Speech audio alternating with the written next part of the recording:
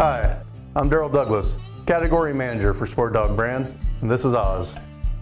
In order to get the most accurate tracking performance from the TEK system, you need to calibrate the compass.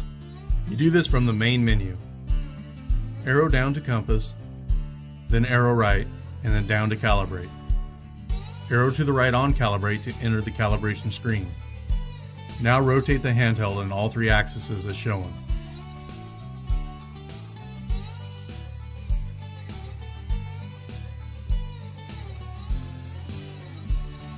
The compass will beep and vibrate to let you know it's been successfully calibrated.